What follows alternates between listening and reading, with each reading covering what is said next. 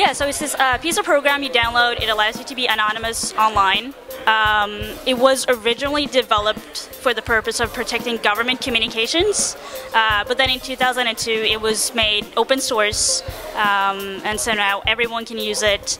It just basically means that the websites that you visit will not know that you are the one visiting those sites, and your internet provider will not see which websites you're browsing either. And of course, there's the whole usability aspect. I mean, sure, it's nice to see that Amazon remembers the 10 last items I bought and can somehow, uh, I guess, guess what I may or may not like.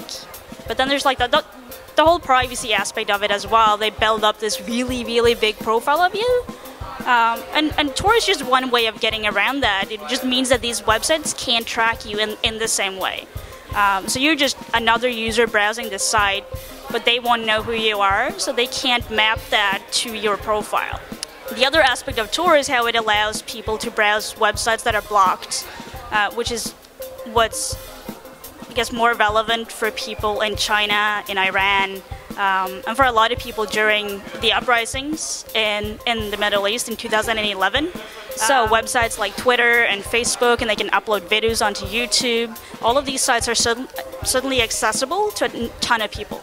Um, and that's kind of what Tor is and how it's being used. During the Arab Spring, it was used by a lot of people. We had, we went from around 200,000 daily users to now around 400,000, 500,000 daily users.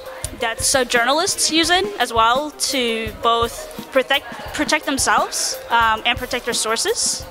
Um, law enforcement use it as well for sting operations and things like that. Uh, they need anonymity as well. Um, so it just has a really wide user base. There's a lot of different people that want to use this together. All of the things that you do online put together in one like big box would be a whole lot of information about you and who you are. And that's, um, it's scary. It is.